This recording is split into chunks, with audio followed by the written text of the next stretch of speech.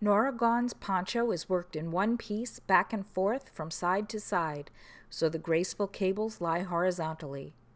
Increases at the center of the row form the shoulder on one side, and once the neck opening is complete, decreases shape the other side. A garter stitch edge is sewn down to hem the lower edges. The front and back are worked simultaneously with two balls of yarn when the piece is divided for the neck. The collar is picked up and knit in two rib patterns in finishing. Make it in Berroco's Black Stone Tweed Metallic to add some sparkle to your winter.